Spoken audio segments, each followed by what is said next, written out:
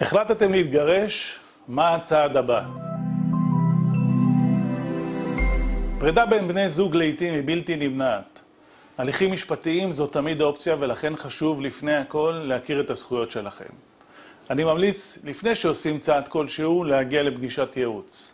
בפגישת הייעוץ, עורכי הדין המתמחים בדיני משפחה ידעו להסביר לכם מהן הזכויות שלכם, מה התהליך הצפוי לכם ומהן האפשרויות שעומדות בפניכם.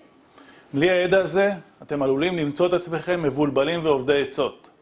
בזמן שהוא בין כה וכה מורכב וחדש. כשיש ילדים בזוגיות המתפרקת, הילדים הם הדבר החשוב ביותר, ועליהם ולהם צריך לתת את תשומת הלב המרכזית. כמי שהתחתנו מאהבה, לא מצופה שתיפרדו ותמשיכו לאהוב, אבל בשביל הילדים שלכם ובשביל עצמכם, תעשו חושבים איך לסיים את המערכת הזו כשיש לכם יסודות טובים להמשיך ולהיות הורים טובים לילדים שלכם. יש מספר דרכים להתגרש בכבוד ולהגיע לאותה תוצאה מבלי לעבור שנים של הליכים משפטיים ארוכים ויקרים.